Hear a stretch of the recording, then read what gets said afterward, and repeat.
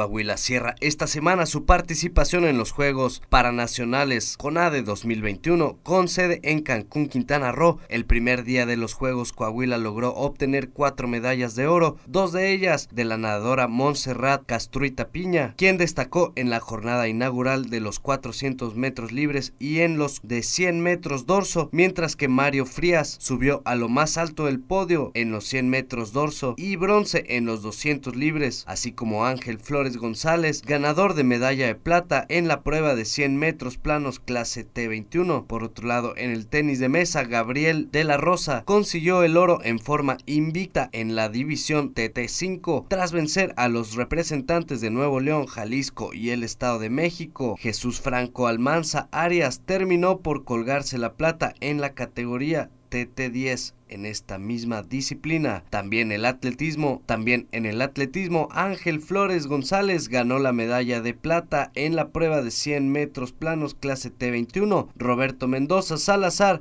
se llevó el bronce en su participación en la prueba de lanzamiento de disco clase T21, así como Jesús Alberto Rangel en la prueba de lanzamiento de bala, donde al final se quedó en la primera posición general para obtener el oro. Finalmente, el equipo de fútbol Fútbol 5A Site de Coahuila obtuvo su pase a la final luego de sus dos compromisos de esta jornada. Esta será la tercera ocasión en la que Coahuila dispute la final del Fútbol 5A consiguiendo en las anteriores ediciones la medalla de plata.